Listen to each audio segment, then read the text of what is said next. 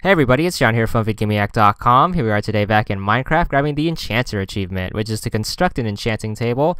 The first thing you need is a piece of leather, so you want to go hunting cows and make sure they drop a piece.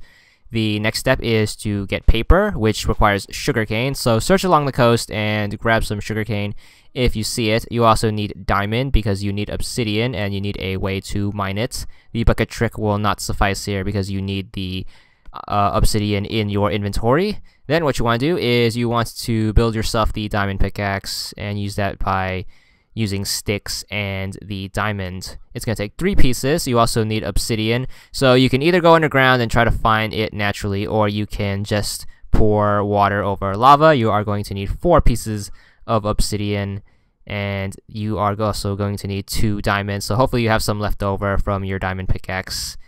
And once you have that done, go to a crafting table. You want to turn your sugar into paper. It's going to take three pieces. You only need three. You also want to combine your paper into the leather to make a book. And then you want to combine the book, the four pieces of obsidian, and the two diamonds into an enchanting table. Once you drop it down somewhere, you should get the achievement for 20 gamer score. And that's all there is to it.